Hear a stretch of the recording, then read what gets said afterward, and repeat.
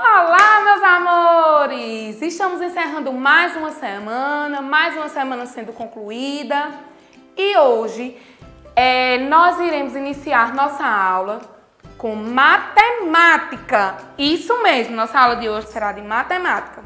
E é uma pena que vocês não possam estar saindo de casa para aproveitar o final de semana, mas isso não significa que vocês não possam se divertir. Você pode aproveitar e da sua casa, ó, com cinema, pedindo para a mamãe fazer uma pipoca, um suco e aproveitando em família. Veja só, hoje nossa aula será bem fácil e vocês irão conseguir realizar as atividades rápido. Então, para ajudar a tia, tia trouxe nosso amiguinho Tico! Olha lá aqui! E nós iremos aprender só um pouquinho sobre cheio e vazio. E ele trouxe dois exemplos, vejam só. Esse potinho de letrinhas está cheio, como vocês estão vendo.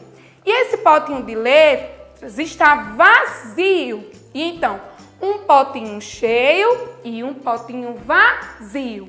E nossa atividade de hoje será para que vocês circulem os objetos que estão cheios e façam X nos objetos que estão vazios.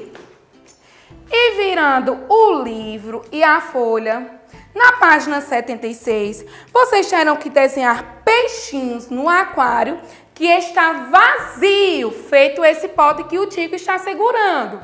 E vocês irão observar qual é o aquário que está vazio.